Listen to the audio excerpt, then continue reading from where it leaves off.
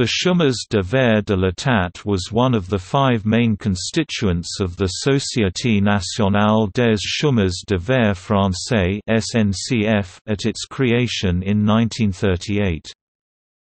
It was formed in May 1878 from the merger of ten railway companies, not all of which had opened.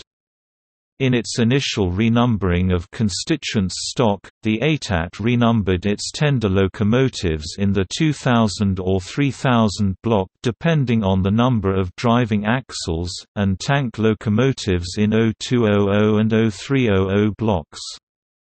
This scheme had to be abandoned in 1909 when the État bought the Chemins de Fer de l'Ouest in that year, as the enlarged État had by then too many tank locomotives for that scheme.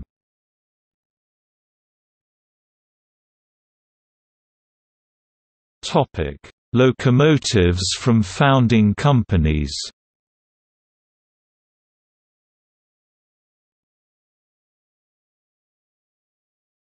Topic: Locomotives acquired 1878 to 1909.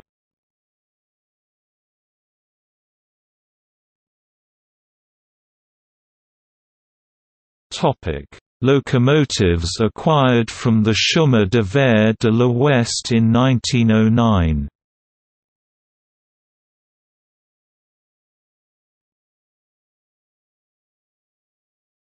Topic: Locomotives acquired 1909 to 1938.